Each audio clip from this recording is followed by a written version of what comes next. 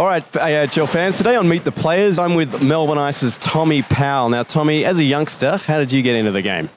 Uh, just a birthday party going ice skating a couple times and uh, saw a hockey players wanted poster and told mum I wanted to do that. And next year I was enrolled and, and playing. So that's pretty much the uh, quick backstory of how that happened.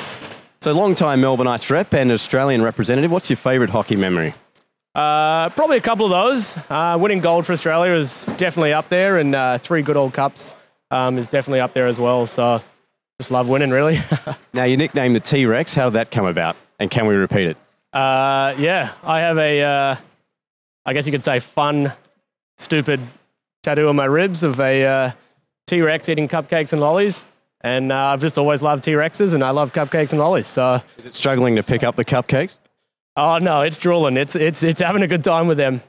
Fair enough. Now, one thing uh, fans may not know about is that you, you and your partner Shona, she's on the bench for when you're playing for the Melbourne Ice, and you're on the bench for when she's playing for the Melbourne Ice women's team.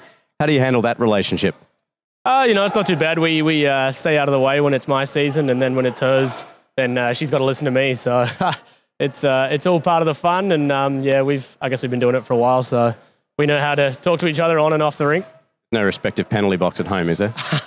No, not at all. We're all good. okay, well, Tommy, thanks for joining us here at AIHL, at the AIHL, and uh, best of luck for the rest of the season. Cheers. Thank you very much. No worries. That's Tommy Powell from the Melbourne Ice.